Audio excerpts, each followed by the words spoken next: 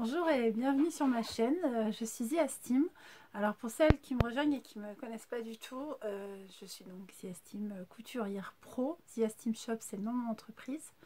Je suis couturière depuis 4 ans, j'ai découvert la couture il y a 4 ans en réalité. Et je couds depuis 4 ans et je suis à mon compte depuis maintenant 2 ans. Et je suis en même temps la couturière de quartier qui fait les ourlets, en même temps créatrice de patrons en même temps, euh, euh, eh je donne des cours euh, avec mes complices les Bobines Patterns sur leur site internet. Je donne des cours et des masterclass sur leur patron. Et si vous me rejoignez aujourd'hui, vous avez certainement vu le titre de cette vidéo. Nous allons faire le tuto de la blouse Anaïs. C'est une blouse qui est sortie un petit moment, mais qui est complètement dans le thème du mois d'avril, qu'on va débuter. Euh, on dit en avril ne te découvre pas d'un fil, peut-être, mais dans certaines régions, comme moi aujourd'hui, on bronze déjà, on prend déjà des couleurs, donc euh, on peut. On peut se permettre de mettre la blouse Anaïs. En tout cas, elle est très très jolie, très fluide, très féminine. Euh, j'ai été très inspirée par ce modèle. Et donc là, pour l'instant, je vais vous montrer le tuto tel qu'il est présenté dans le cahier technique et va rester bien jusqu'à la fin de la vidéo parce qu'il y a deux surprises. Voilà. Eh bien, nous allons donc assembler euh, cette blouse. Alors, c'est un focus plus qu'un tuto en pas à pas. Cependant, comme il s'agit d'un modèle assez simple, un peu comme le précédent tuto de la robe Lovely, je vais pratiquement avec vous faire toutes les étapes. J'ai dû cependant euh, procéder à un petit changement. Euh, il a fallu en fait que moi, par rapport à, la quantité de tissu que j'avais, je me fais gronder par ma machine, il faut que j'aille travailler, elle me dit. Euh, donc par rapport à la quantité, de tissu que, j'avais, il était important que je, puisse mettre toutes les pièces forcément j'avais pas envie de faire des pièces d'un autre, tissu, d'une autre couleur, d'autant que les couleurs sont assez chatoyantes et c'était un peu compliqué de trouver une teinte assez proche pour faire euh, par exemple les paramentures ou les volants. Euh, je vais vous montrer tout de suite le patron. Donc c'est la blouse Anaïs des bobines pattern. Voilà. Donc c'est cette blouse-ci que nous allons faire. Donc comment c'est? Bah, C'est une blouse euh, qui est un petit peu cintrée. Euh, qui a un col en V avec une parmenture. Les manches sont à volant. Alors la parmenture fait tout le tour du col. C'est vraiment sur ça que je vais accentuer mon, mon, focus d'aujourd'hui. Euh, elle est, voyez, normalement un petit peu plus longue et plus arrondie. Moi, la mienne s'arrêtera un peu plus courte et droite, mais je vous expliquerai comment je vais faire pour que ça rende tout de même joli. Et puis, euh, ça, c'est la version qu'on va faire aujourd'hui. Puis, vous pouviez également la faire dans une autre version. En tout cas, ça, c'était les versions qui sont complètement faciles à faire. Euh, par rapport au patron, vous mettez ou vous ne mettez pas les, les volants des manches. C'est un niveau 1 sur 3, donc elle est euh, très très accessible, complètement accessible aux débutants. On l'a fait dans un chaîne trame. Alors, euh, je vais ressortir l'autre patron que j'avais déjà ouvert. Pourquoi je vous dis l'autre patron? Bah, Parce qu'en fait, je me suis dit au début, mais les filles, elles yoyotent. Elles m'en ont envoyé deux. C'est moi qui yoyotais. Non, parce qu'il y en a un pour moi et puis il y en aura un pour une de vous. Je vous explique ça après. Les conditions. Alors, je vais vous, donc, vous montrer dans le cahier technique, en fait. Donc, vous devez faire, euh, quand vous, vous devez avoir déjà au préalable, bien sûr, laver votre tissu, faire éventuellement une toile. Non, mais on le dit, on le dit, on sait pas qu'on le dit. Hein donc, faire une toile, ce serait pas mal. Euh, bon, ensuite, vous choisissez votre taille par rapport au, tableau euh, des mensurations, puis du vêtement fini, c'est important. Ça, je l'explique dans le cours taille et mesure. Si vous avez vraiment du mal à choisir votre taille, n'hésitez pas à venir nous voir sur ce cours. Et si vous avez du mal à choisir votre tissu, n'hésitez pas à prendre le cours tissu et projet. Beaucoup d'entre vous l'ont pris et euh, je crois que ça vous a pas mal aidé. si vous voulez mettre des petites choses en commentaire à ce propos, mais n'hésitez pas. Donc euh, on suit le plan de coupe, on nous dit euh, préparation, et eh bien placer toutes les pièces sur le plan de coupe, etc. Euh, épingler ou mettre des poids sur les pièces, surfiler toutes les pièces pour avoir un, vêtement parfait à l'intérieur. N'oubliez pas ça, parce qu'on peut rapidement passer sur le plan de coupe et puis oublier de faire des choses importantes comme de surfiler. Et on nous dit thermocoller la parmenture du col. Thermocoller, c'est coller de l'entoilage. Donc c'est ce qu'on vous demande de faire sur cette pièce-là. D'accord? Vous allez faire en fait cette pièce en deux parties. Vous allez ensuite les assembler, ces deux parties, mais au préalable, il aura fallu les thermocoller. Alors, euh, bah, il est assez simple. Ce qu'on va faire en premier, alors c'est ce que j'ai fait là. Je vais vous le montrer tout de suite. J'ai d'abord thermocollé les deux pièces du col et je les ai ensuite surfilées. Pareil, pour un souci de taille, j'ai pas pu faire au pli le col, mais j'aime bien le faire en deux parties. Pour ce faire, si vous souhaitez comme moi faire le col en deux parties pour avoir en fait une, couture de jonction qui peut vous aider à vous repérer par rapport à au V en fait de votre, de votre blouse, euh, eh bien je rajoute juste un centimètre sur la pièce du patron ici. Je découpe avec ce centimètre de plus les deux pièces toujours dans le biais, c'est important, hein, tel que c'est indiqué sur le patron. Et puis ensuite, bah, je, comme je couds à un centimètre que j'ai déjà surjeté, etc., bah, je viens les assembler à un, centimètre, voyez. Enfin, je les couds à un centimètre du bord. Je laisse cette petite marge là. Et puis du coup, bah, devant, c'est très très propre. Et voilà, on a cousu. Ouais, ça, ça rend ça en fait. Hein. On assemble. On couche les coutures plutôt vers l'arrière du col. Coucher les coutures, c'est les aplatir au fer. Puis voilà, on obtient ça. Alors, ça c'est pour le col. Euh, ensuite, il y a quand même quelques petites précautions à prendre. Alors, vous voyez, moi, il est entièrement surfilé. Donc, euh, je l'ai en fait euh, surjeté en trois fils, tout simplement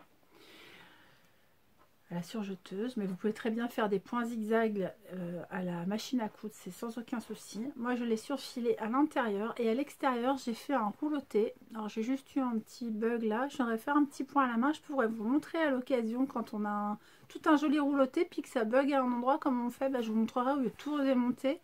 Parce que ce qui implique quand on a un petit bug sur un rouloté, eh bien, on est obligé de venir euh, tout rerouloter à nouveau et on réduit d'autant le mancheron. Et moi, c'était de question de le réduire. J'aime bien les petits mancherons, donc je voulais le garder. Donc, je vous montrerai comment on peut faire dans ces cas-là. C'est pas du tout dramatique. C'est comme de, pratiquement comme de reprendre une maille en tricot.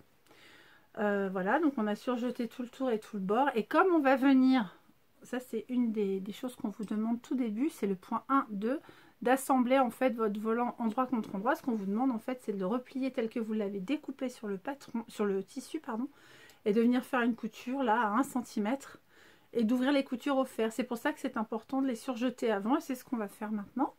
Donc il va falloir qu'on ferme les deux volants. Vous avez au préalable assemblé les parmentures en joignant tout simplement l'avant à l'arrière par des, des, points. Voilà. moi j'avais coupé un petit peu plus court exprès parce que je voulais assembler à la surjeteuse et basculer les coutures. Si vous voulez l'assembler à la machine à coudre, vous aurez une double couture que vous viendriez que vous viendrez pardon, ouvrir au fer. Donc voilà. Et puis ce que j'ai fait également, euh, eh bien j'ai tout surjeté les pièces, sauf, et c'est volontaire de ma part, je n'ai pas, euh, enfin surfilé, je n'ai pas surfilé les côtés de ma blouse, tout simplement parce que j'ai vu que j'avais largement l'ampleur, ce n'est pas la première que je fais. Et euh, je vais me faire des coutures anglaises. J'aime beaucoup les coutures anglaises, donc ça c'est ce que je vais faire. Et voyez, moi le bas de ma blouse est tout droit, je l'ai déjà surfilé. Il restera pas en l'état, je vais vous montrer ce que je vais faire. Alors c'est pas déjà un hack parce que je suis une spécialiste du hack, vous le savez. Euh, non, c'est juste parce que là, comment je peux faire? J'avais vraiment qu'un mètre de ce tissu. Alors j'ai utilisé une sorte de, je crois que c'est de la popeline de viscose de chez Drisson Stoffen qui était à 5 euros le mètre. J'en avais pris un mètre par curiosité parce que, oui, moi, j'ai pensé ça. Euh, je me suis dit, oh, elle est très colorée. Oui, j'ai pensé ça. Et en fait, euh, oui, alors elle est très colorée, certes, mais pas tant. Puis bon, je suis... moi, alors, je sais pas s'ils ont voulu dessiner des anémones ou des coquelicots. J'ai décidé que c'était des coquelicots sont mes fleurs préférées. Donc, euh, j'aimais beaucoup. Avec une petite touche de rouge, je trouve ça très très mignon. Mais c'est vrai qu'un mètre, bah, en fait, au départ, quand j'avais pris ce tissu, je pensais me faire un, top Jacqueline. Et puis bah voilà, la, la blouse avaient été nombreuses à réclamer que ce tuto soit à nouveau tourné. Il avait été tourné par les filles à l'époque de sa sortie, puis pour une raison X ou Y, euh, il avait disparu de YouTube. Donc euh, euh, Caro m'a demandé si j'étais d'accord pour le faire. Et j'ai dit, bah écoute, je suis d'accord pour le faire, mais en plus j'avais très très envie d'avoir ce patron. J'ai dit, il est déjà dans mon panier, euh, dans les bobines. Elle me dit, ah non, hein, ah non, tu nous fais gentiment les tutos, on te l'offre. Donc on va me l'envoyer. Puis elles n'en ont pas envoyé 15, on en a envoyé deux, dont un pour une de vous. Et bah, voilà, donc comment ça s'est fait? Mais j'étais vraiment partie pour le prendre parce que j'aimais vraiment bien. Alors moi qui crée aussi des patrons, c'est un patron que je n'avais pas, je, n'avais pas commercialisé ce patron, je, cousais en fait sur mesure à mes clientes ce modèle. Et moi, c'était pas du tout en V, c'était un, col plutôt court, euh, rond et droit. Et euh, ben voilà, j'avais envie de l'avoir en V. Et puis moi, c'était pas exactement les mêmes manches non plus, enfin, c'était deux tops différents, c'était dans le même esprit.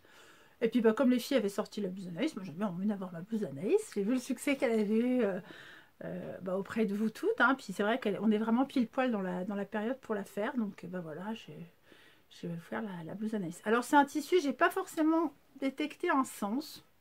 Je n'ai pas vu s'il y avait des fleurs en bas, des fleurs en haut. Moi je, l'ai trouvé comme un jeté de fleurs. Voilà, alors euh, j'ai des fleurs dans tous les sens. Il n'y a pas vraiment de sens dans ce tissu. Ça va me faire un top pour 5 euros, plus le fil, plus un petit peu d'entoilage. Alors je vous le précise, euh, j'ai sécurisé le col. Vous voyez, là, il bouge pas. On est quand même dans le biais. Faites attention, vous mettez bien du droit fil. Pour celles qui ne comprennent pas ce que je suis en train de dire là, je vous prépare un cours euh, qui, je pense, sera lieu au mois de mai. Il faut qu'on positionne ça dans le planning avec les filles pour les cours des bobines patternes. Euh, je suis en train de vous créer un cours euh, pour bien préparer et bien terminer toutes vos cousettes. J'ai l'impression qu'il manque parfois des infos de, de cet ordre-là. Donc je ne développe pas là-dessus maintenant, mais ce cours existera. Donc j'ai sécurisé. Et puis bien, on est parti. Alors je ne sais pas si les filles l'avaient précisé ou pas. Je n'ai pas... Vous savez comment je suis Je suis un peu en, diagonale. Euh eh bien non, je pense pas que c'était forcément précisé. Alors certains tissus vont pas bouger, mais comme on coupe dans le biais, euh, pour certains autres, même si on met une parmenture, ça peut un peu bouger. Donc on sécurise quoi, on sécurise son, son. Écoutez, on va pouvoir y aller. Donc je vais vous positionner là sur ma machine qui nous a grondé tout à l'heure parce qu'on n'était pas encore en train de coudre. Non, non, mais attention, elle attend du rendement, hein, la miss. Donc on va se mettre là et puis... Euh, bah, je vous remercie de m'avoir rejoint euh, nombreux et nombreuses sur ce tuto. C'est parti, on va coudre. Alors euh, j'étais, j'ai tout surfilé sur et comment fait mes roulotés en rose, mais par contre sur ma machine là je suis en blanc et puis pour tout ce qui est couture d'assemblage elles ne se verront pas donc blanc ce sera très bien. J'avais juste envie d'avoir mes surgés intérieurs roses et puis mes petits roulotés roses. Euh, je vous montrerai peut-être, ou je vous dis comment je fais, peut-être ça vous intéresse. Donc moi j'ai eu un petit saut, là je ne sais pas pourquoi. Voilà, un petit défaut, ça s'est plié peut-être quand c'est passé au niveau du rouleauté. J'ai pas voulu tout refaire, je voulais surtout pas enlever encore de la longueur. Juste avec un fil et une aiguille, je vais venir enrouler le rouleauté en, piquant en fait juste au ras du rouleauté, à l'endroit où il aurait dû être posé. Et en fait je vais l'aplatir comme ça en, en l'ensaucissonnant, on pourrait dire, hein, en, en l'enroulant euh, comme une araignée, vous savez, je vais faire comme ça. Je vais enrouler ma proie. C'est ce que je vais faire là pour pouvoir euh, euh, euh, retenir mon, mon, qui s'en aille pas et aussi pour éviter cet effet bosse. Ça marche très bien. Hein. Vous savez, on détricote pas tout un pull parce qu'on a pété une maille, on est d'accord, parce qu'on a fait sauter une maille. Là, c'est pareil. eh bien, on y va. Donc, bah, je vous reprends tout de suite. Alors, ce que je vais faire avec vous, nous voilà sur mon plan de travail. Pardon pour la couleur un peu rose-jaune vous y ferez. Euh, ce qui compte, c'est que vous sachiez ce que je vais faire. Donc, moi, j'ai déjà commencé à assembler la parmenture, mais c'était vraiment pas compliqué. Vous posiez, en fait, je vais quand même vous remontrer pour celles qui n'ont pas compris, parce que ça peut être votre première cousette, hein, complètement. Ça peut complètement être une cousette de débutante, il n'y a pas de souci. Il suffisait tout simplement de poser endroit contre endroit, c'est-à-dire que vous avez le V face à vous, et puis vous avez la parmenture du dos à l'envers. Et on vous demandait en fait de positionner endroit contre endroit ces deux pièces voilà, donc là c'est l'envers face à vous et là c'est l'endroit face à vous. Et de venir coudre des deux côtés. Vous voyez, on, voit bien la forme arrondie du haut du, col dans le dos. Et on voit bien la forme en pointe du haut du col devant. Puis vous voyez, quand ce sera positionné à l'intérieur, ben, ce sera comme ça.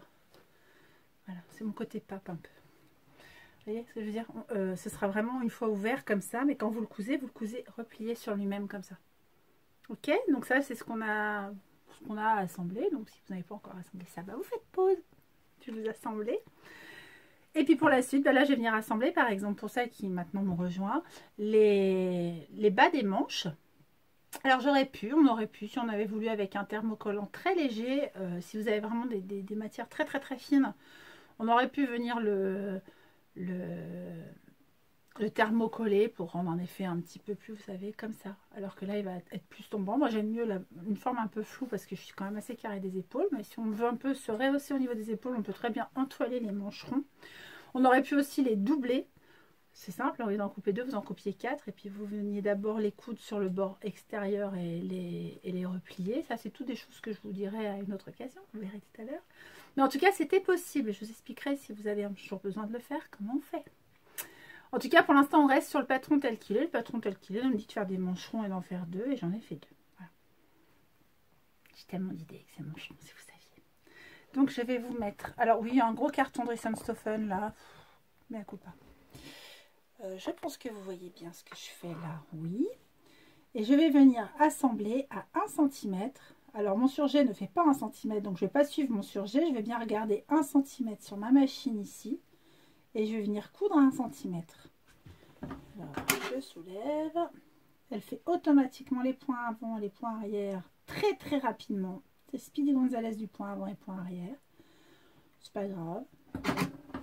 Faut juste pas avoir peur quand ça, quand ça se lance. Donc n'ayez pas peur. Je suis très contente pour ceux qui se posent la question de ma super machine. Je ferai peut-être un de ces quatre, une revue. Voilà, sur mon heure sujet. Mais Donc là, vous voyez, je longe bien ma ligne du 1 cm. J'essaye de bien mettre bord contre bord mon petit rouloté. C'est là qu'on va voir si j'ai bien fait ma jointure ou pas. Voilà. Elle a fait les points arrière, elle coupe. C'est un peu magique. Et là, on va venir ouvrir la couture au fer. Donc, je vous épargnerai à ce moment-là. Tout simplement, on va, quand on va venir repasser, donc moi j'avais déjà repassé bien à plat, ben, on va venir, alors je crois que vous voyez mieux si je me mets comme ça. Quel endroit? Comme ça. On va venir en fait écarter cette petite couture qu'on vient de faire au fer. Ce qui fait que là, sur 1 cm, on voit l'avant du tissu. Donc, on fait ça des deux côtés et on se rejoint tout de suite.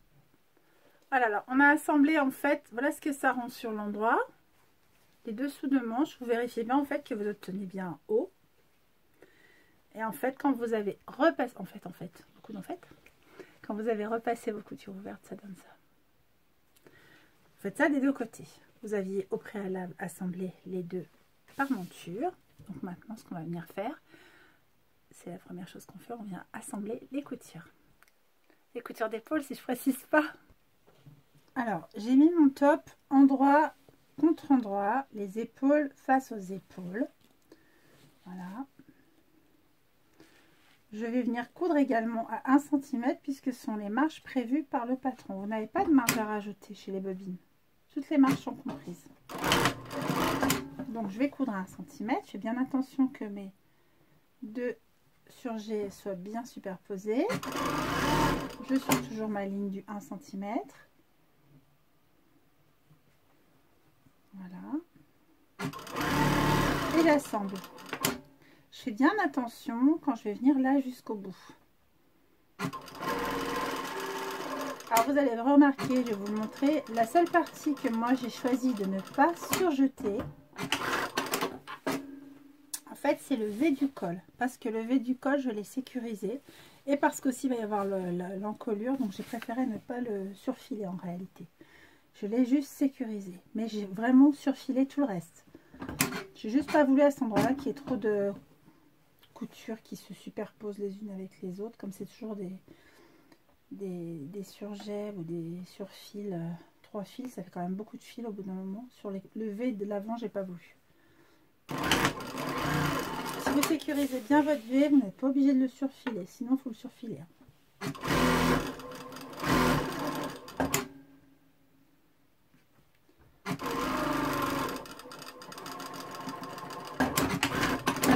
agréable à coudre cette petite popeline. Donc qu'est-ce qu'on va venir faire ici sur les épaules? Eh bien exactement la même chose que ce qu'on a fait avec la couture des manches. On va venir ouvrir les coutures au fer. Comme ceci. Vous voyez, je vais écarter au fer. J'y vais, je vous montre tout de suite ce que ça donne. Voilà ce que ça donne des coutures ouvertes au fer. On voit toujours l'endroit du tissu à l'intérieur du vêtement. Je vais garder mon, mon, vêtement comme ça face à moi. Là, j'ai le V devant moi mes petites épingles à côté de moi. Et ce que je vais venir faire, je vais venir positionner. Alors, je sais pas si je le fais exactement dans l'ordre du projet. Si, probablement. Je vais venir... Euh, l'important, c'est de le faire. Avant, après. Moi, je le fais à ce moment-là. Je me suis coincée. Donc, je vais venir positionner ma parmenture endroit contre endroit à l'intérieur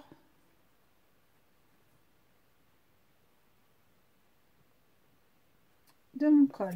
Alors moi j'aime bien commencer par le V mais juste pour sécuriser. Voilà, je prends vraiment 3-4 mm, pas plus. Quand je pose des épingles, ça retient vraiment très très très très bien quand on met peu d'espace dans l'épingle.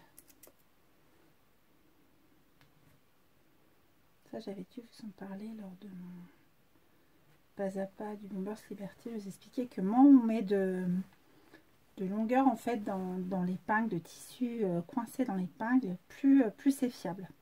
Donc là, je bascule, enfin j'ouvre mes coutures de mes manches, je suis au niveau des manches, et je bascule vers le côté où ce sera finalement à l'arrière ma jointure entre le col, entre la parmenture de col et la parmenture de parmenture avant, parmenture arrière de col. Donc là, il faut que je maintienne ouvertes mes coutures. Donc je pique afin de les maintenir ouvertes. Il faut que je bascule vers l'arrière, parce que moi je l'ai assemblé par un surjet. La couture des épaules en fait. Vous voyez? Là, je l'ai fait en ouvrant les coutures. Puis là, je l'ai fait avec un surjet. Comme c'était sur une plus petite pièce, j'ai préféré surjeter. Et je préfère surjeter et basculer vers l'arrière. Alors, moi, j'aime bien. Vous voyez, je vous montre comment je fais. Je fais tout le temps comme ça. Couture contre couture. Elles se font un bisou. On monte, on monte. Et hop, on maintient bien la couture ouverte avec une épingle. Comme ceci. On prend le moins possible de tissu. Moins on prend de tissu, plus c'est fiable. sur l'arrière, on vient poser les deux surgés l'un sur l'autre. Alors normalement, il ne devrait pas y avoir d'embut, puisque vos pièces sont égales. Des fois, quand on assemble la parmenture, sans le vouloir évidemment, on crée des fois un petit peu d'embut si on n'assemble pas la parmenture assez loin. Ou si, et ça c'est souvent ce qui arrive, si elle s'étire alors qu'on pose le thermocollant. Si vous avez vraiment une parmenture beaucoup, beaucoup plus grande que votre col, c'est qu'en posant la parmenture, ben vous avez euh, étiré votre parmenture sans vous en rendre compte. Et qu'au moment de mettre votre thermocollant, eh bien, vous l'avez étiré, donc vous avez agrandi sa taille. Normalement, il ne doit pas y avoir d'embut. Alors, c'est des fois ça qui vous fait des résultats. J'ai eu des questions de certaines de mes élèves, par exemple ou de, des, bobinettes, hein, pas forcément de mes élèves, mais sur, certains de mes élèves quand même qui me questionnent. Comment se fait-il que j'arrive pas à faire le col? Ben, En fait, ça peut, ça peut être ça. Ça peut être, je, quand je repasse, j'étire beaucoup trop et au moment où je pose mon, mon entoilage, ben, j'ai déjà complètement changé la, la dimension en fait. Voilà, puis on va faire la même chose sur la descente devant. Si vous remarquez que vous avez vraiment... Alors moi j'ai vraiment un, écart là, c'est pas très grave. Je pense que je vais remonter un petit peu sur ma couture. Je préfère avoir un repli à cet endroit-là que d'avoir une, trop longue parmenture. C'est pas possible d'avoir une trop longue parmenture. Donc si vous avez eu un petit jeu, ça peut arriver quand vous collez votre entoilage. il vaut mieux le résorber tout de suite. Vous étirez surtout pas le col, le col il est à la bonne longueur. Si vous étirez le col, c'est là que ça, j'ai eu la question aussi, pourquoi est-ce que ça, ça, ça gondole? Bah, Ça gondole parce que vous avez étiré le col et que vous avez changé sa nature. Sa taille, sa taille de départ en fait. Donc il gondole parce qu'il pourrait plus être à plat parce que tout le reste du, tissu qui l'entoure est plus court que la partie colle. C'est pour ça qu'il vaut mieux venir faire un petit pli comme ça si vous avez trop de parmenture. Puis bah, quand on remettra dans l'autre sens, il y aura un petit pli qu'on peut même revenir piquer, c'est pas grave. Mais vaut mieux faire ça que d'étirer le col. On n'étire surtout pas le col. C'est interdit par la loi, on ne fait pas. Et même chose, là je vais venir poser, alors je, ce que j'estime être le plus fiable, ben, c'est mon V tout simplement. Et après je repars de mon V. Alors faites attention, il y a un sens avec les épingles. Hein. Faites bien attention de, de les mettre toutes les pointes, comme je vous l'ai déjà dit, je crois, en direction de la piqûre qui arrive. Alors j'ai un autre projet sur lequel il y a des épingles et du coup je vais me retrouver un petit peu limite sur mon épingle. Ce qui n'est pas très grave. je suis moins douée pour les mettre avec la main gauche, encore que. Donc normalement, si j'ai eu trop, euh, un peu d'embus sur ma parmenture du côté gauche, avoir un peu d'embus sur ma parmenture du côté droit. Parce que je respecte le cahier technique, je l'ai fait comme ça. Je vous cache pas que ça m'arrive également de mettre des fois la parmenture directement sur la pièce devant, puis la parmenture directement sur la pièce d'eau, et seulement après de venir assembler la pièce devant et la pièce d'eau. Cela dit, on voit une couture supplémentaire. Donc les finitions sont moins top quand on fait comme ça. Puis je me retrouve avec le même embut, donc peut-être est-ce que...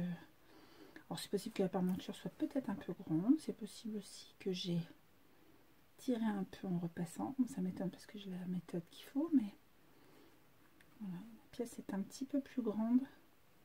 Pour moi en tout cas, la pièce de parmenture est un petit peu plus grande que la pièce de, bord de colle. Ça n'a pas d'incidence si on fait bien le repli tout de suite. Tant pis, j'aurai une aiguille, une épingle dans l'autre sens. Je veux vraiment bien venir bloquer ce pli. Voilà. J'aimerais que mes épingles toutes par là, mais j'avais besoin de bloquer avant. Voilà. Je pouvoir enlever celle-ci et repartir par là. Parfait. Donc genre un petit pli à l'intérieur, c'est pas très très grave. Je vous dis, on viendra piquer et on l'aura plus ce petit pli. Voilà. Je peux même mettre la petite euh, épingle maintenant à l'endroit où on viendra piquer tout à l'heure pour maintenir ce petit pli. Vous n'avez pas forcément de petits plis, vous. Hein. Si vous en avez un, faut faire ça, mais vous n'en avez pas forcément. Par contre, si vous en avez un d'un côté, vous en avez forcément un de l'autre, sinon il y a un problème avec la longueur de vos pièces. Oui, c'est pas mal, on vérifie comme ça. Vous voyez Hop. Et je vais venir piquer tout le tour à 1 cm. Alors le fait de piquer tout le tour à 1 cm, 1 cm pardon, ça résorbe pas mal les bêtises. Alors, ce que je vais faire, j'aime bien faire comme ça. Moi, je vais partir de l'épaule droite à l'envers, donc gauche à l'endroit. Et c'est ça. Euh, je vais partir de l'épaule droite à l'envers. Et en fait, je fais d'abord la partie arrière avant de faire la pointe à l'avant. Je m'explique. Quand je mets la sous-pied de biche, donc je me mets un centimètre pour bien coudre. Et en fait, je fais d'abord, je couds d'abord la partie d'eau. Et seulement après, quand j'ai trouvé mon rythme, je viens faire la partie dite la plus difficile, qui serait la partie du V. Vous faites très attention, on va coudre des courbes. Quand on coud des courbes, on fait attention, même si on a là des petits plis, c'est pas grave, on fait attention qu'il n'y ait jamais de plis sous le pied de biche et à l'endroit où l'aiguille pique. Si j'ai des plis par là, que ça fout un peu, c'est pas grave.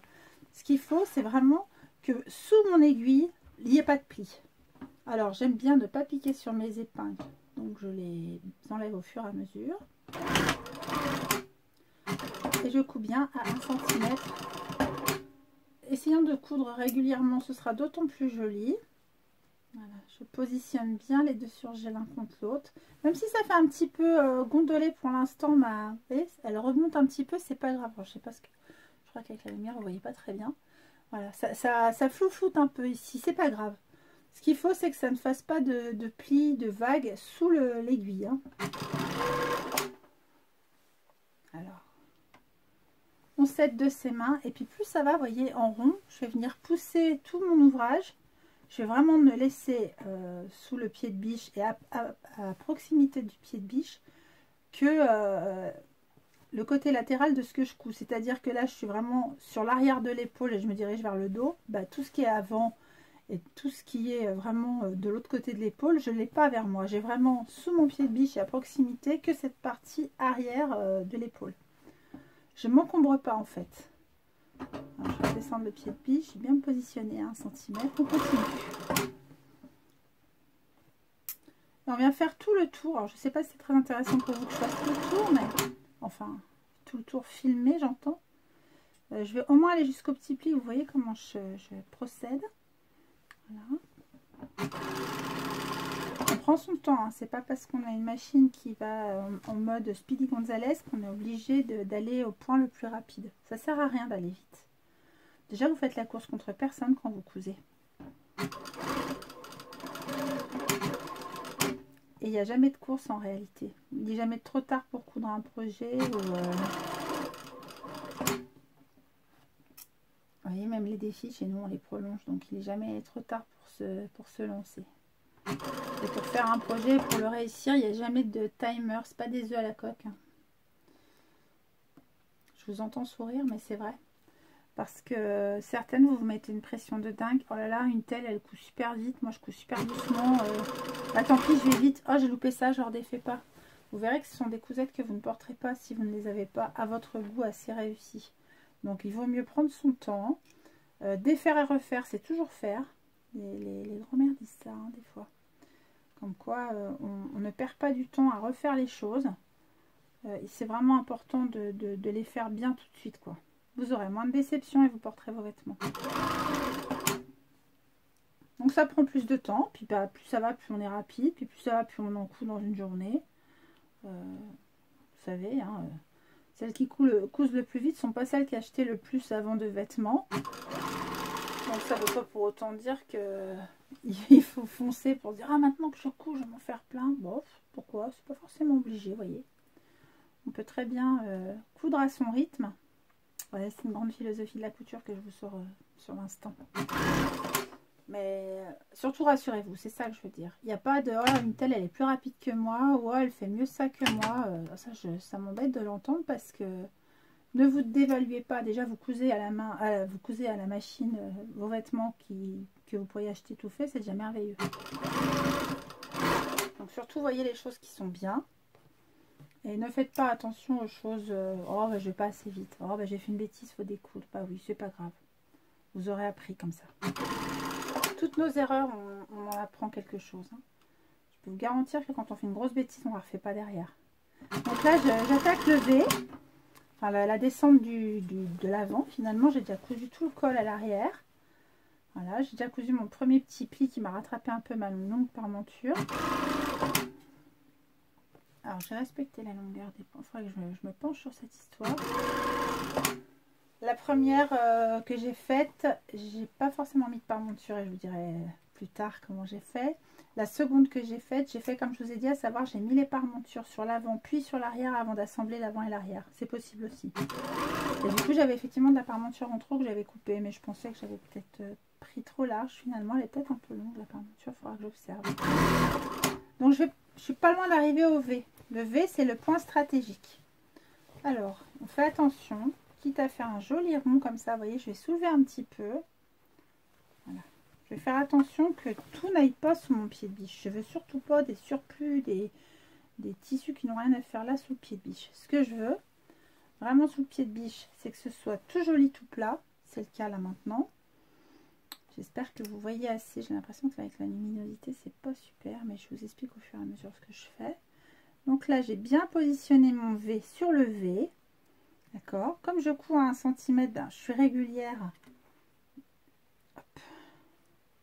Je suis régulière dans ce que je fais. À partir de maintenant, j'ai plus d'épingle à cet endroit-là parce que je maintiens. Alors, je vais venir maintenir ouvertes mes coutures telles que je les ai repassées. Moi, j'avais une couture à cet endroit-là. Vous n'en avez pas normalement. J'en avais une parce que j'ai assemblé mes deux parmentures. Par contre, je trouve que ça va m'aider puisqu'en fait, c'est en atteignant cette couture que je vais lever tourner je vous montre. Donc là, je vais atteindre cette couture. Et comme je coupe bien régulièrement un centimètre, je respecte une sorte de marge. Voilà, là, je suis au, centre de ma couture, donc je suis au centre du V. Je vais tourner, puisque là, j'ai le pied levé. Je vais tourner sous mon pied de biche afin de reprendre vraiment l'autre partie du V. J'ai toujours contre donc la parmenture en V bien plaquée contre la partie corsage qui est elle taillée en V. V sécurisé, on en a parlé. Et j'y retourne. Et je respecte bien cette fameuse distance de 1 cm.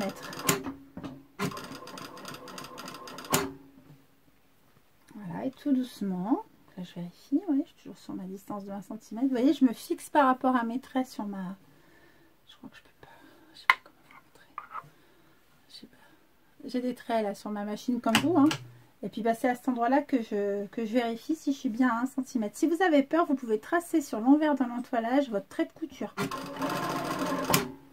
Si vous ne savez pas trop comment utiliser les, traits sur votre machine à coudre, vous pouvez tout simplement utiliser un... Voilà, vous faites un trait euh, au crayon bille, hein, même, ça marche, hein, sur l'arrière de l'entoilage, à l'endroit où vous venez coudre. C'est encore plus simple que de dessiner également au pied du V cette croix que vous devez euh, suivre en fait. Voilà, j'ai fait tout le tour. Pardon, c'est peut-être un peu long cette partie de la vidéo. Je vais aller un peu plus vite. Et je vais venir rejoindre là où j'ai déjà précousu mon petit pli. Voilà, et là je vais revenir marcher sur mes pas. Je pourrais ne pas faire de point d'arrêt avant-arrière, mais elle l'est fait, donc ok. Et là, je vais vous montrer en fait ce que ça donne tout autour du col. Donc en fait, dans le, prolongement du col, on a la parmenture comme ça qui remonte. Ce qu'on va faire maintenant, on va faire une piqûre de maintien. Ça, ce sera pour éviter que par la suite, votre, euh, comment, votre parmenture bascule vers l'extérieur, ce qui n'est pas très très joli. Alors avant de faire ça, je vais juste venir entailler le V sur 1 cm. Le V à l'intérieur du, corsage. Je vais venir entailler, je vais vous montrer en, à peut-être comme ça. Voilà. Je prends ma paire de ciseaux.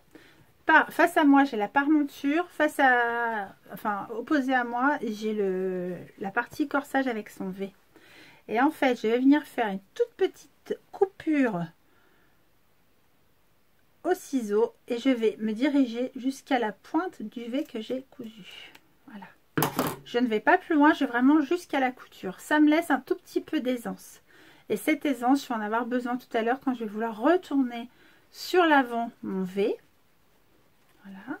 Quand j'aurai en fait tout bien sous-piqué et que je vais rebasculer mon V vers l'intérieur, bah, pour que ça me fasse un joli V à l'extérieur, je vais être obligée en fait de, tout bien euh, couper pour pouvoir, pour que ça évite des, plis et des froufrous ici.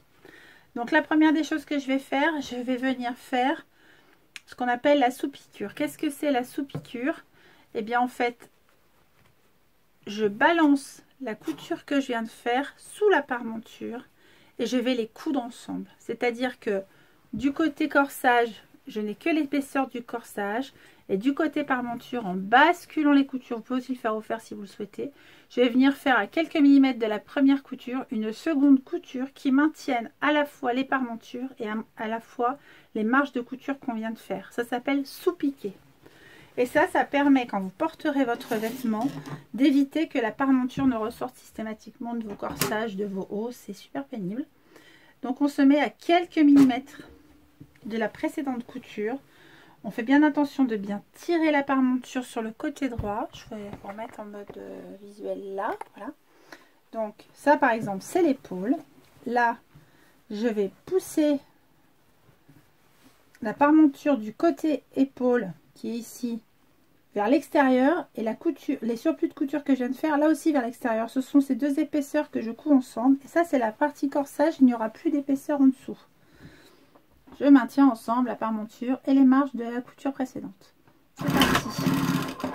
je couds vraiment, mais à quelques, quelques millimètres de la couture précédente. Un ou deux si vous pouvez.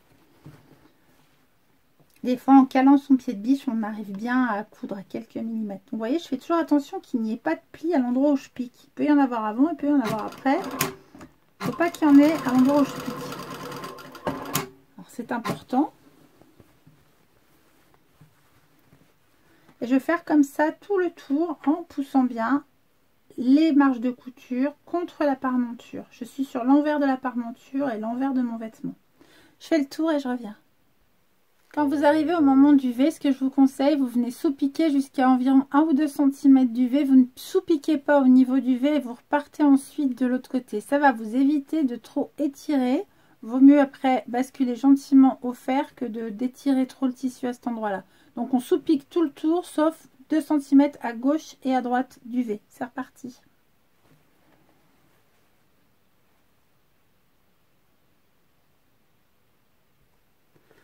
Voilà, quand vous avez fait tout le tour, vous pouvez ensuite poser tout le tour de votre euh, col des épingles pour vous permettre de bien maintenir la parmenture à l'intérieur et votre col à l'extérieur en faisant toujours bien attention d'avoir fait basculer la couture de jointure des deux vers l'intérieur du col. Et en fait, tout doucement, faire repasser sur la janette, par exemple. La janette, c'est une petite machine à repasser, enfin une petite table à repasser toute petite dans laquelle on peut glisser des manches. Bien sur la janette, vous allez poser ça et épingle après épingle, vous allez enlever et presser au fer. Vous faites pas comme ça avec votre fer. Elle me gronde. ne pas que je parle en fait. Ce qu'elle veut, c'est que je couse. C'est des machines à, productivité ça. Et en fait, tout le tour, voilà, vous allez bien plaquer votre parmenture à l'intérieur et sur l'extérieur, vous venez bien presser au fer. Si vous faites ça, il n'y a pas nécessairement besoin d'aller mettre un thermocol en double face pour maintenir. Moi, je préfère, alors chacun sa méthode. Moi, je préfère venir maintenir aux épaules, sur la couture d'épaule, faire une piqûre là, le long de la couture d'épaule, dans le sillon, pour venir tout simplement maintenir la, la parmenture. Même chose de l'autre côté. Pourquoi pas un point central, voire même si vous mettez une petite étiquette fait maison, Ziasti, les bobines paternes, voilà. Bah, vous venez la mettre là, puis pareil, ça vous maintiendra euh, grâce à la couture de, l'étiquette. Alors ce que vous pouvez faire, c'est coudre l'étiquette avant sur la parmenture, la reposer comme ça à plat, puis après faire juste deux petits points qui seront noyés, vous ne verrez pas de l'intérieur, dans les fils de l'étiquette, mais en fait de l'extérieur vous n'aurez que deux points. Vous faites attention, si vous cousez sur du vert, vous mettez du fil vert, si vous cousez, vous voyez, à chaque fois vous adaptez. Moi comme il y a plusieurs couleurs, il se peut que je fasse un point violet, un point vert, c'est bien d'avoir pas mal de bobines de fil du coup. Et puis voilà, j'ai tout plaqué là et je vais venir euh, bien repasser. Et alors, je vous le montre maintenant, mais vous le verrez euh, quand il sera repassé, le V il est tout à fait net quand on fait comme ça. Bah, je vais repasser puis je vous rejoins. je reste deux secondes debout, juste pour vous montrer en fait le V.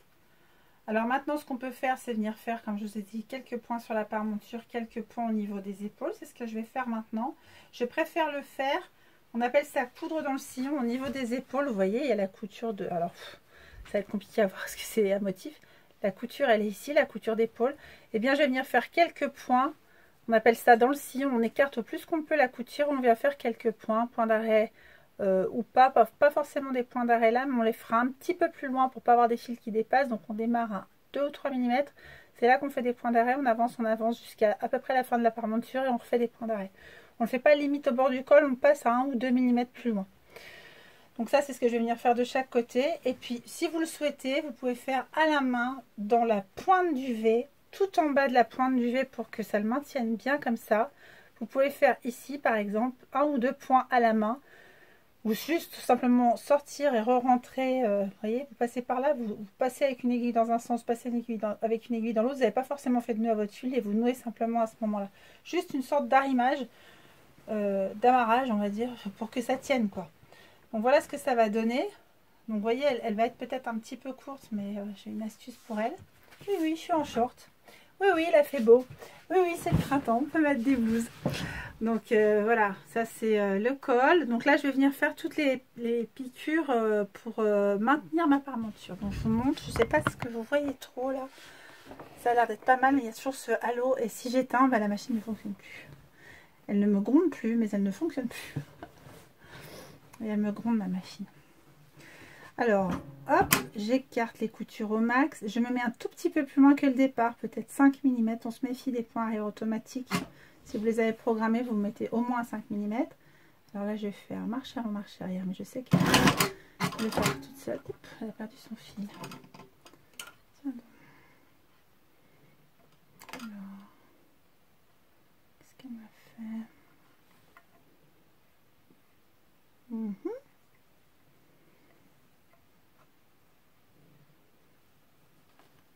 Je vais laisser comme ça. Je ne suis pas satisfaite de ce que ça a donné.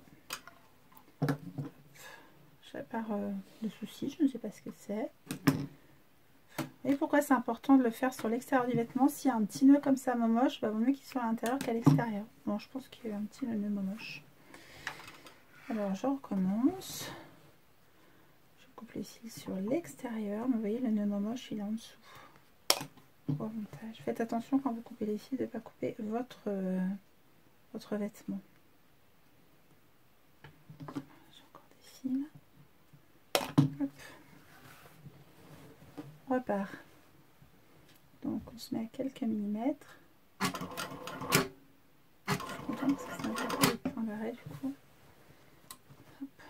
Je suis vraiment au senti, on touche, on sent qu'on arrive en fait à la fin de la parmenture.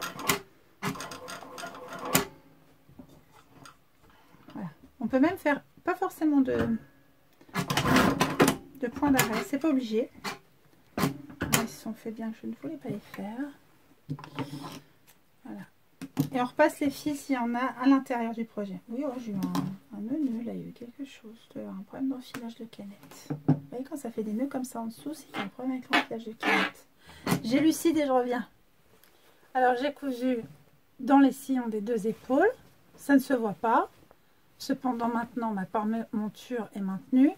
Et j'ai aussi fait des petits points sur les plis que j'ai été obligée de faire parce que ma parmenture était un peu trop longue. C'est complètement, j'allais dire, indolore sur l'endroit. Hein.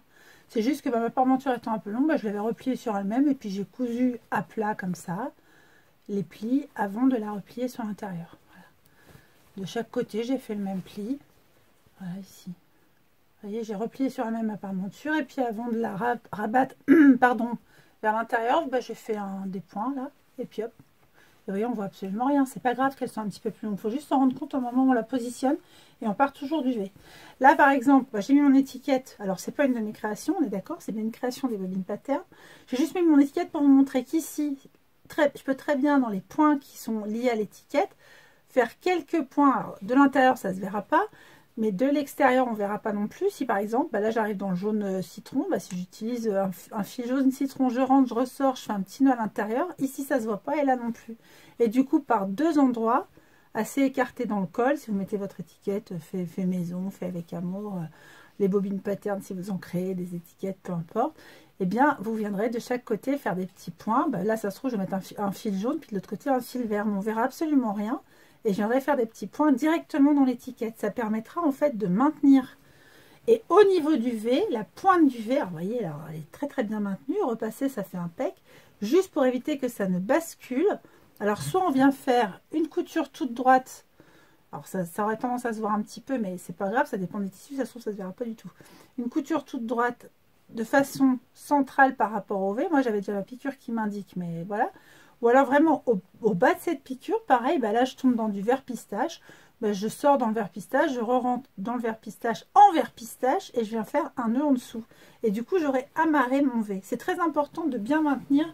Alors, celles qui souhaitent, qui préfèrent, il y a aussi le système de mettre ici du, comment, de l'entoilage euh, thermocollant des deux côtés en fait et hop on vient de mettre on repasse vous savez c'est cet entoilage qui, qui servait à faire des ourlets quand vous ne cousiez pas bah c'est ça en fait qu'on vient utiliser il se peut que ça parte au lavage alors que des coutures ne partiront pas voilà euh, la différence alors maintenant ce que je vais faire qui n'est pas forcément dans le je vous dis qu'on allait sur le cahier technique et puis au dernier moment je vous dis que non si la seule chose c'est que je vais faire des coutures anglaises je vous les ai déjà montrées vous les voyez dans la blouse de Stella. Donc, je ne vais pas forcément les reprendre de A à Z. Je vais simplement assembler mes côtés. Donc, en second, envers sur envers, mais en premier lieu, endroit sur endroit. Alors que vous, vous allez les assembler envers sur envers. Moi, je vais d'abord les assembler endroit sur endroit. Très, très, très, très près de mon très fin pied de biche. Peut-être à, 3 mm du bord. Je vais coudre. Puis après, quand je vais retourner, bah, j'aurai plus qu'à faire une couture à 7 mm du bord. Du coup, mon centimètre sera garanti. Mais j'aurai des coutures anglaises. Donc, c'est ce que je vais faire et je vous montre le résultat. Et voilà les toutes mignonnes petites coutures anglaises qui en fait forment une gouttière et englobent la toute première couture. Comme vous savez, on fait d'abord une couture envers contre envers, à l'inverse de tout ce qu'on fait d'habitude. Donc envers contre envers et on coud d'abord à 3 mm, puis on retourne et on coud à 7 mm. Au total, on utilise 100 cm de marge de couture, mais comme on l'utilise en deux fois, on crée une gouttière qui englobe toutes les coutures qui peuvent s'effilocher sur l'endroit, bah, c'est exactement comme si vous n'aviez pas fait ça. Ça ne change rien. Et sur l'envers, bah, ça vous fait des jolies coutures, toutes, belles. Et ces coutures au fer, on les, on les bascule en fait vers l'arrière du vêtement. Je m'explique. J'ai déjà eu la question par rapport à ça. Là, je suis sur l'avant du vêtement. Et en fait, ma couture qui est de ce côté-là, je la pousse par là, donc vers le dos. Et la deuxième, je la bascule par là aussi, hop, comme ça, vers le dos. Ce qui fait que mes deux coutures sont, on dit, couchées vers l'arrière. Voilà, donc là, j'ai mon V, mes manches qui vont être faites. J'ai assemblé les côtés. Le bas, je me le termine après à ma, sauce parce que c'était, j'avais pas assez de tissu. Il m'en reste vraiment très très peu. Il m'en reste juste assez, chose que j'ai déjà entoilée pour me faire le genre de petit nœud là que j'ai dans les cheveux, que je trouve ça bien pratique. Euh, pas de cheveux dans le visage euh, quand, euh, quand je couds.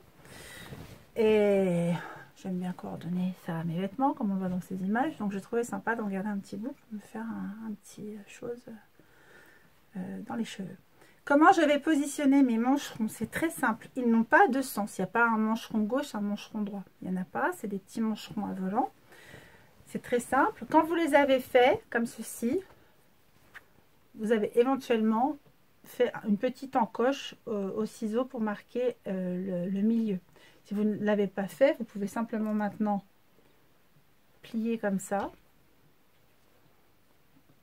Donc envers contre envers et mettre à l'endroit où vous avez fait la découpe de cette pièce au pli une épingle pour vous marquer le milieu.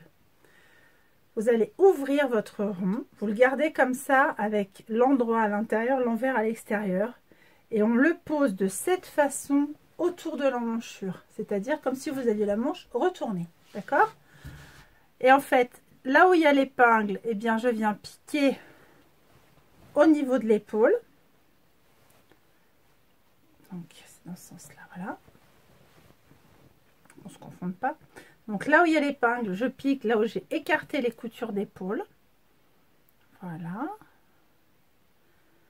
Je superpose bien en maintenant ouvertes les coutures hein, pour euh, garder le, la propreté de la pièce à l'intérieur. Comme ceci.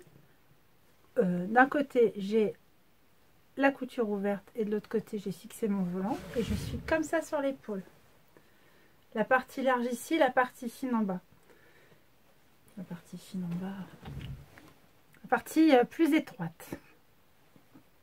Et ici, je vais venir fixer en prenant bien soin de basculer donc les coutures, comme on a dit tout à l'heure, vers l'arrière, les coutures des côtés du, du, vêtement, vers le dos du vêtement. Je viens bien mettre couture contre couture. Là, je bascule ma couture anglaise, si vous avez fait une couture anglaise, vers le dos. Et j'épingle. Ces deux épingles à moi me suffisent pour poser la manche. Peut-être vous, faudra-t-il en poser aux quatre points cardinaux de votre manche. Je m'explique. Là, c'est ok, mais il va peut-être falloir pour vous mettre une pince ou une épingle ici. Je vais la mettre pour le fun, mais j'en ai pas forcément besoin. Il n'y a pas d'embu, c'est facile comme tout à gérer. En fait, la, manche, le tour de votre manche fait bien exactement le tour de votre, euh, euh, comment, de votre euh, emmanchure. Pardon, je perds mes mots. Il n'y a pas d'embu à gérer. C'est le volant qui, partant euh, plus large, en fait, fait qu'il y aura du volume au niveau de la manche. Mais il n'y en a pas au niveau de l'emmanchure. Les deux emmanchures sont de même taille. si on veut poser quelques épingles, on peut. C'est pas euh, ultra forcément obligatoire de poser 36 000 épingles, puisqu'il n'y a pas d'embu à gérer. voyez On va bien mettre les... voilà, tout, correspond. On met le tour de, la manche euh, autour du de l'emmanchure on est bon. Vous voyez, ça va faire comme ça.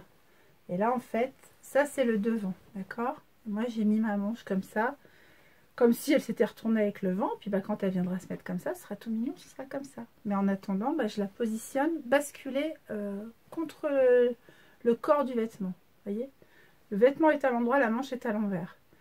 Et en fait, ce que je vais faire, je vais venir mettre mon pied de biche à l'intérieur comme ça à l'intérieur de la partie corps donc je vais mettre mon pied de biche il va être ici à l'intérieur et moi je couds à l'intérieur pourquoi? Parce que le tour de manche est plus large plus un petit peu plus grand à peine il n'y a pas d'embu mais il est forcément toujours un tout petit peu tout petit peu plus grand et vaut mieux mettre la partie la plus grande contre les griffes et la partie la plus courte entre guillemets euh, contre le pied de biche. Ce qui donne, pardon, hein, pour mon installation électrique qui vous fait certainement peur, c'est parce qu'on a enlevé la prise, on va repeindre ce mur. Oui Voilà, voilà. Donc, ne prenez pas peur, j'ai un peu d'assureur. Et j'essaie de faire attention aussi. Hop Elle a un interrupteur, ma prise, hein, je vous rassure, hein, je l'éteins tout le temps. elle sert parce que tout est branché dessus, mais... Même plusieurs prises après, ça va être merveilleux. merveilleux. Alors moi je repositionne toujours quand je reviens sous le pied de biche, voilà. Je me mets dans mon emmanchure, je me mets à 1 cm. Je respecte toujours les marges de couture telles qu'elles étaient indiquées. Et en fait, j'ai la partie manche en dessous et la partie emmanchure au-dessus. Et je viens les assembler en maintenant toutes mes parties à 1 cm. J'ai fait attention de basculer la couture anglaise vers le dos de mon projet. Et puis petit à petit, j'assemble. Voilà, je fais le tour, j'arrive. Alors, j'ai monté une manche, je vais monter la seconde. Je vous montre juste que en fait, j'ai profité que dans le sillon de l'épaule, j'ai rabattu la moitié de la couture vers l'épaule. Et en fait, j'ai fait quelques petits points pour maintenir dans le sillon comme on avait fait tout à l'heure, à l'intérieur du col pour maintenir la parmenture. Et donc, du coup, bah, j'ai une épaule qui se tient. En plus, qu'il y a des limites qui se tiennent, c'est-à-dire que mon épaule, elle va pas s'agrandir. En plus, on avait fait en sorte de la maintenir au départ. Et puis bah voilà ce que ça donne mon petit mancheron là au niveau du tour de bras. Et pareil, dans le sillon de la couture de sous le bras, donc ici, je suis venue faire quelques petits points pour maintenir, ouverte ma couture là et là, de chaque côté. C'est complètement invisible, mais au moins ça maintient ma couture ouverte. Après, j'ai qu'à la repasser ouverte. Puis si je veux, de temps à autre, je la maintiens d'un côté ou de l'autre pour faire qu'en sorte qu'elle reste ouverte, puis que ça ne me gêne pas, puis que ce soit vraiment joli à l'intérieur. joli à l'intérieur, euh, c'est pas forcément primordial. Ça le devient quand on, on améliore sa couture. Déjà, si vous arrivez à faire quelque chose de joli de l'extérieur, ce sera déjà bien, hein. on est d'accord. Mais si vous arrivez à faire des jolies finitions à l'intérieur, vous aurez d'autant plus de plaisir à la mettre. Donc voilà ce que ça donne pour une manche. Je vais vous faire l'autre manche et je vais vous dire un petit peu ce que j'aurais fait comme finition. Normalement, la prochaine fois que vous me retrouvez, je la porte pour vous montrer. Voilà, suite et fin, je vous montre ce que ça donne porté. Alors moi, j'ai fait, en fait, j'ai feinté, j'ai gardé le surjet en bas et j'ai juste cousu un élastique parce qu'en fait, moi, je le portais blouson au-dessus de shorts ou de pantalons euh, très montants. Je passe un peu que vous voyez un peu ce que ça donne. Voilà. Donc en fait, euh, pour porter avec des shorts très hauts, bah, je trouve ça sympa parce que finalement, je mets pas de... Je rajoute pas de grosseur ici, vous voyez, dans le pantalon. Moi, j'ai l'élastique qui le tient blouson. Je prends juste... Alors, euh, on peut juste rentrer le devant du, du haut comme ça se fait maintenant, laisser les bords comme ça, l'élastique, le flou-flou en fait. J'aime beaucoup beaucoup le rendu. Les petites manches, le col en V. Alors, il faut que je le repasse une fois qu'il reste bien plat. Voilà, mais on voit qu'il est bien, bien en pointe. Les petites manches qui volettent. Voilà, elles ont été fixées. Et puis, dans le cou ici, ça a aussi été fixé au niveau de la parmenture là. J'ai fait un point vert, un point jaune. J'ai pris les fils qui ressemblaient le plus. Juste pour fixer au niveau de la couture de l'étiquette que j'avais mis, ma parmenture également au niveau du col. Et ici, dans la couture vert anis, enfin dans, le dessin vert j'ai fait un petit point aussi de couture pour maintenir la parmenture tenue. Donc là, il n'y a rien qui bouge, que les petites manches qui volettent. Bah, je suis super contente du résultat. Voilà, je trouve que c'est bien joli. Alors, euh, moi, ça me le fait, vous voyez, je le fais en 40... Je fais 44 épaules. Je fais 48 poitrines et 46 pour la taille, je crois. Quelque chose comme ça. Voilà. Ou l'inverse. 46 épaules, 44. 46 épaules, 44 la taille. Et 48 poitrines. Je peux pas faire 44 épaules, j'aimerais bien, mais sinon ça me fait faire un FBA. FBA, c'est un full bust adjustment. Donc voilà, je vous dis la taille que j'ai fait. Et au cas où ça peut vous aider, euh, ici je fais 122 de taille 93 et de hanche 112. Donc en fonction de mes mensurations, ah, j'ai peut-être, euh, faudrait peut-être que je repasse un petit coup.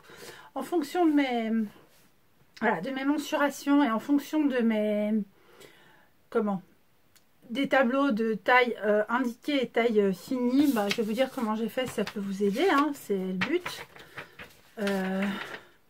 tableau des mensurations, alors 122, euh, j'aurais dû faire du 52, bon, des comptes.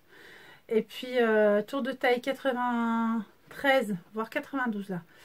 Euh, bah, je mettais du 48 et tour de hanche 112, je mettais du 46. Et en fait, quand je regarde les tableaux des tailles du vêtement fini, en faisant un 46 épaules et un 48 poitrine, bon, ça, on sent que ça tire. J'ai pas de place du tout à cet endroit-là, mais je préfère que ce soit plaqué poitrine, du coup ça m'est bien levé. Parce qu'en fait, le V est trop grand par rapport à ma à mon tour de poitrine. J'explique ça dans le cours taille et mesure, comment on fait dans ces cas-là. Alors, j'aurais pu faire un full bust adjustment parce que je suis au-delà du bonnet D. Au-delà. Donc, c'est ce que j'aurais pu faire. Mais on peut aussi euh, s'adapter. Moi, ce que je fais, je fais vraiment un 48 au niveau de la ligne de poitrine. Alors que c'est pas du tout ma taille. Et en tour de hanche, bah, quand j'ai regardé 112, il fallait faire un 46. Non, j'ai bien fait un 46 au niveau de la taille. Et au niveau des épaules, j'ai fait un 44 pour pas qu'elles soient trop grandes. Et vous voyez, elles ont presque déjà, euh, elles arrivent là. Bon, c'est fait pour faire des épaules un petit peu tombantes, hein, parce que sinon le volant, s'il était là, ça ferait vraiment court, vous voyez. Mais voilà, c'est, aurait pas fallu plus en épaules, quoi. Donc 44, 48, 46. Et donc un élastique en bas. Alors ça dépendra ce que je porterai, hein. Sinon, je peux le faire blouson. Et puis, euh, vous voyez, si j'avais pas eu une jupe taille haute, bah, je faisais blouson, puis ça arrivait comme ça. Une jupe un short, je veux dire. Mais là, j'aime bien euh, cet effet un petit peu comme ça. Je trouve ça sympa. Et euh, du coup, bah, ça permet, alors que j'avais pas assez de tissu, je n'avais qu'un mètre, préconisé 1 mètre 40. Comme j'avais pas assez de tissu pour faire le bas qui est un petit peu arrondi. Voilà.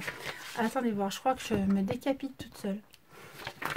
Euh, ouais, ouais, je sais pas trop ce que, ce que vous avez comme, image. Alors, je vais terminer euh, ce tuto, ce long tuto, dis donc. On a presque tout monté ensemble, vous avez vu encore une fois. C'est pas un pas à pas, mais voilà, c'est un tu, un tu à pas.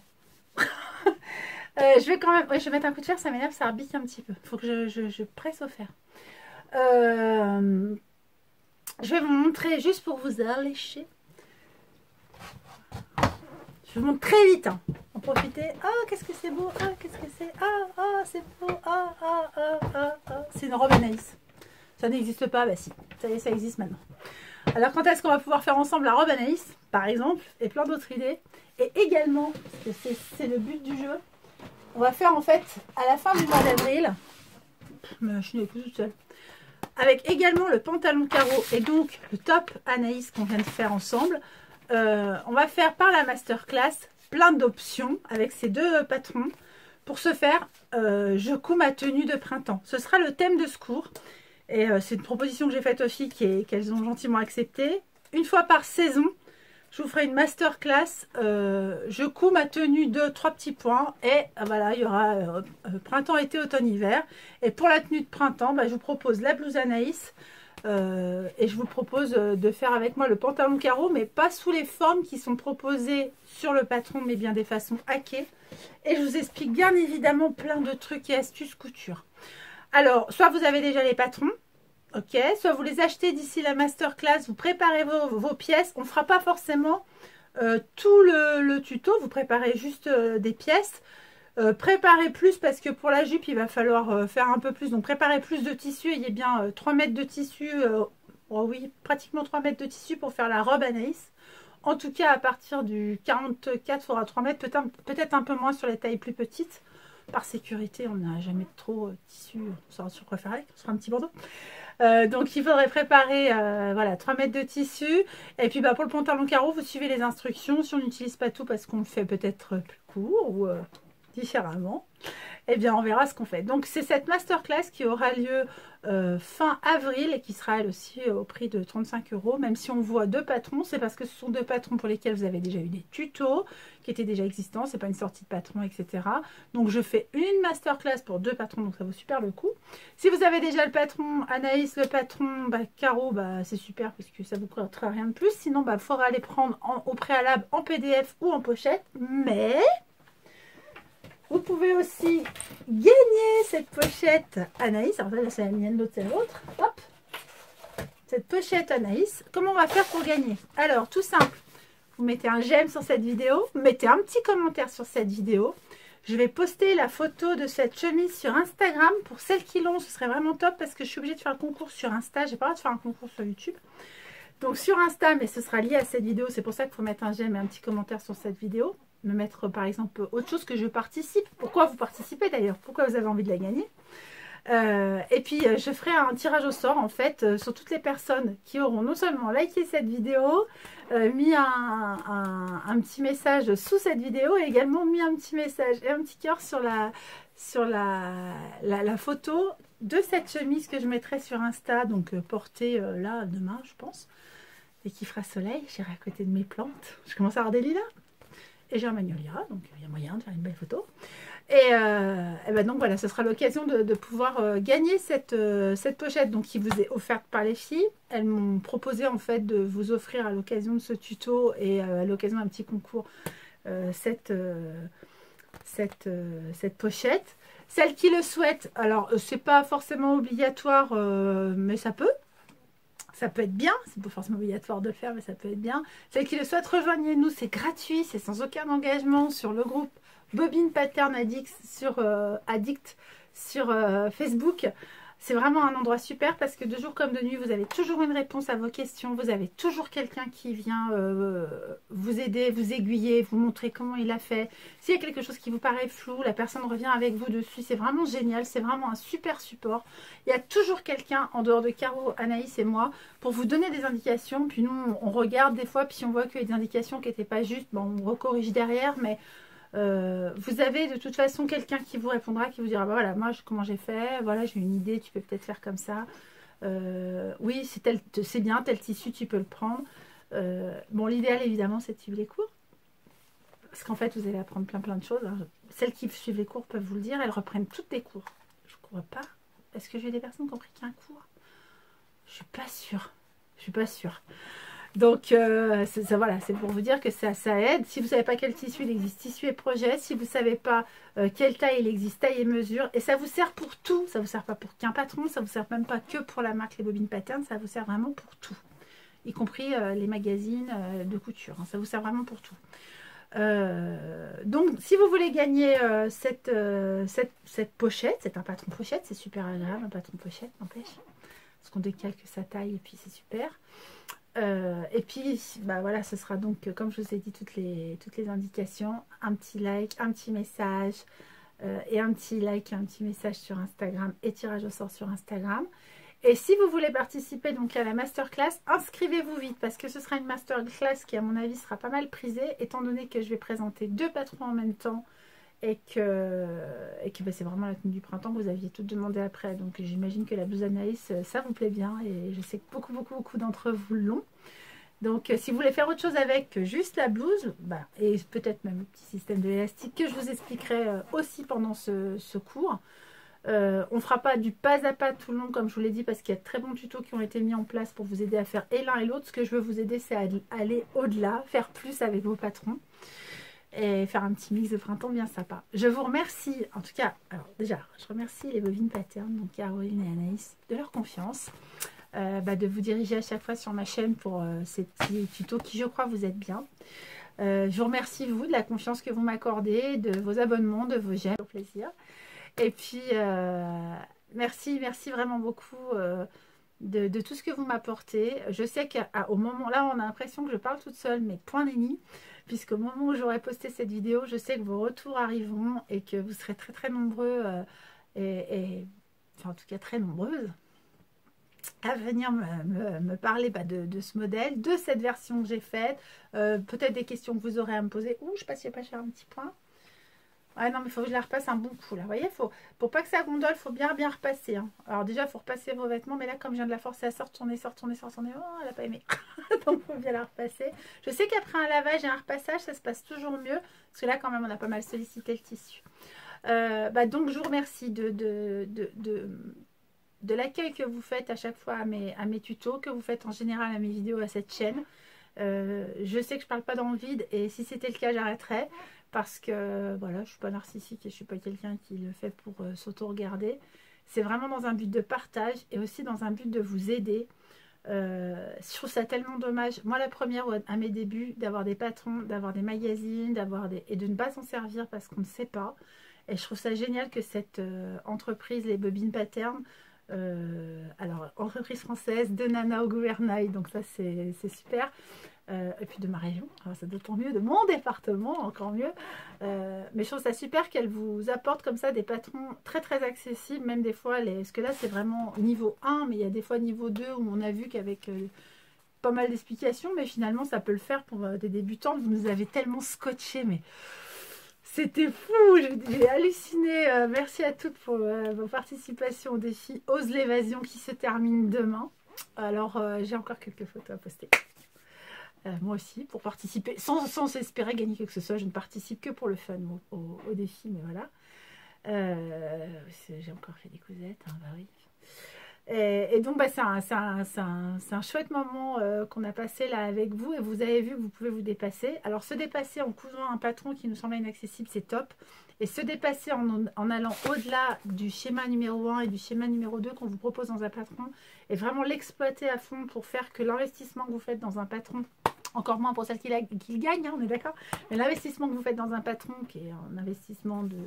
Bah là, pour un patron pochette chez les bobines, c'est 14 euros, donc c'est un chouette cadeau. Euh, ben, il faut l'amortir et il ne faut pas hésiter à s'en servir pour en faire plein de versions, même celles auxquelles vous n'avez pas pensé, parce que s'avère que moi, je les invente la nuit. Écoutez, je vous embrasse fort. Je vous remercie euh, voilà, tous et toutes de votre bienveillance et de vos petits messages toujours encourageants. Euh, je peux toujours améliorer, y compris le rangement, mais je vous explique, demain je revis tout parce qu'on repart. Donc bon, je dis bah geste, geste comme ça, hein. je, vire tout demain, on repeint le mur là, je remettrai tout au mieux.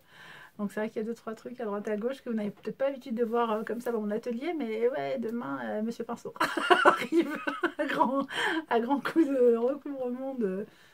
Ah, je vous le dis, ça va être un petit peu violine, ça va être chouette, ça va être très féminin, j'aime beaucoup. Bah, un peu cette, euh, cette lila, Donc je suis très contente, mais bon, bah faut le faire, donc faut le faire. Euh, on arrive à la fin du mois de mars, donc bah, je vais vite venir demain dans la journée sur le groupe des bobines patterns parce que j'avais promis aussi quelque chose à mes petits élèves. Et oui, des fois, je guette mes petits élèves. Il s'agira des élèves des deux classes de masterclass évasion à qui j'ai préparé une surprise que je dévoile demain.